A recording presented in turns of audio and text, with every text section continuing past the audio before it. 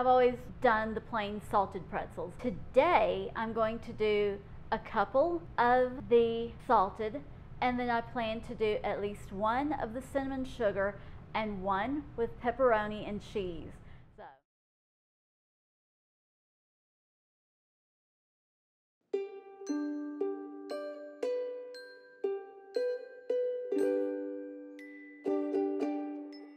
Thanks for joining me today. Let's get started making those pretzels. First, one and a half cups of warm water. Add that to your stand mixer and then add a tablespoon of sugar. Stir to combine. And then add two and a half teaspoons active dry yeast. Give that another stir to combine. Now you're going to let it sit in the stand mixer for about 10 to 15 minutes so that your yeast has time to proof. Once it's proofed, you need to add a tablespoon of salt to three and a half cups of flour in a bowl and give that a stir. Now it's time to turn on the mixer to low and begin adding your flour about a half cup to a cup at a time, letting the mixer incorporate that flour in between each addition. If you're messy like me, be sure to add the guard onto your stand mixer so that you don't end up with flour everywhere. Now, go ahead and finish adding your flour a bit at a time, again allowing it to incorporate between additions.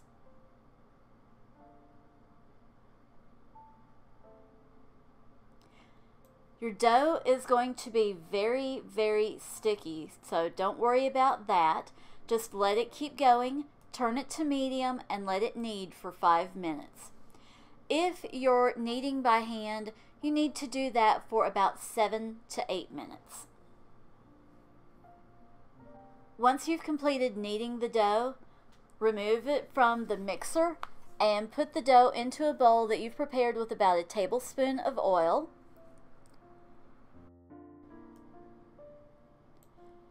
Turn the dough to coat with oil, making sure that you slide it around the sides of the bowl so that it doesn't stick as it rises.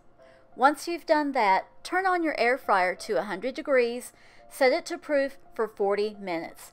If you're not using an air fryer, cover your bowl with a tea towel and set it in a draft-free place to rise. I'm experimenting so you don't have to. I've heard you can freeze and then cook later and it's supposed to be just as good or almost as good as a freshly done pretzel. So I'm going to make four and freeze four and then pull them out later and bake them and see how they turn out. So I'll know immediately if it's just as good. Okay, our 45 minutes are up. Let's get the dough out. The counter has been washed about four times while I was cleaning up the kitchen and waiting for the dough to rise. So it should be clean and ready for me to punch that down and then turn the dough out. I have found that the easiest thing to do is shape it into a log and then cut it in half. Now I'm going to cut this one in half and then half again.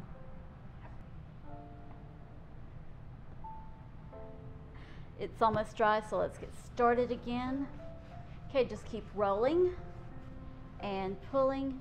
You want it to make a rope and you want it to be about 18 inches long. Okay, so keep rolling. And you want the rope to be as uniform as you can make it all the way down. That's pretty good. So I'm going to move that one down there and proceed with the other three until I get them all rolled out and then I'll form the pretzels and we'll move on to the next part. Time to form the pretzels.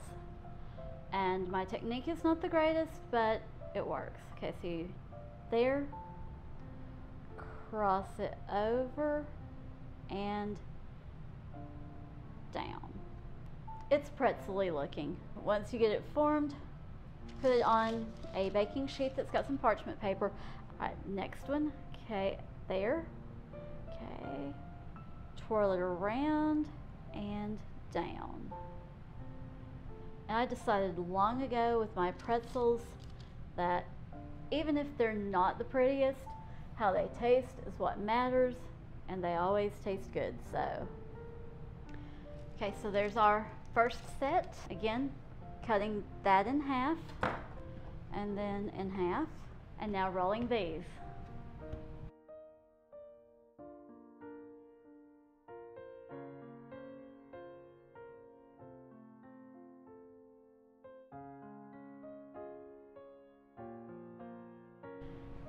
Now I have a gallon of water that I'm bringing to a boil. I'm going to add in a tablespoon of baking soda. Wow, there's this to boil. Okay, this is boiling, so I'm going to put two in there to boil together. Don't want to crowd the pan. And here's the second. Okay, you want to boil for three minutes. And about halfway through the boiling time, I will flip them over.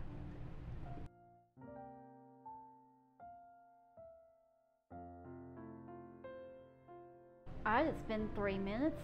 I'm going to pull them out and onto the drying rack. And we'll just continue doing that with all eight of the pretzels. While I'm preparing the pretzels to bake, I'm going to go ahead and turn on the air fryer at 375. Transfer these back onto my parchment lined pans. The ones that are getting baked now, I'm going to go ahead and do an egg wash. I'm just going to paint that over the top of the pretzels going to start with the pepperoni cheese one. This is just an Italian blend of cheese. I'm just going to sprinkle over the top. Okay, this isn't quite like the place in the mall. It's just going to be on here. Try to make it fit nicely so that it can be pulled apart, but I'm not a professional. So there's our pepperoni cheese. I'll sprinkle salt on this one. I believe I'll leave this one plain so that I can do this one with cinnamon sugar and this one some cheddar cheese just grate some cheese over it and this is what they look like all right now into the oven they go and these four are going to go into my freezer and then in a couple of hours I will pull them out once they're completely frozen and I will bake them and see how they turn out. It's been 12 minutes and I just checked. They look done already, so I'm going to pull them out.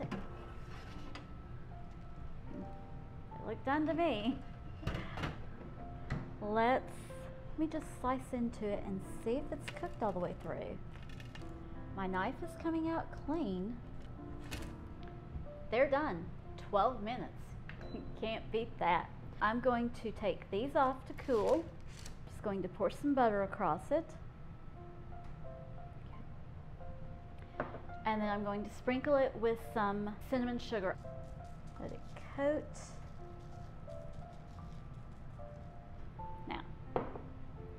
And now I'll move this one over here to cool. Okay, it's the moment of truth. They look great, but how do they taste? It's chewy, it's salty, it's everything that you want in a pretzel without having to go to the mall. It's nice and cheesy. I don't even think it needs anything to dip it in. The smooth creaminess from the cheese, the bite from the pepperoni.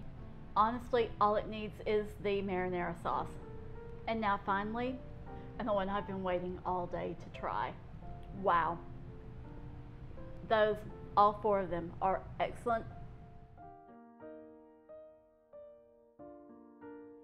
375 again, but I set it for 16 minutes.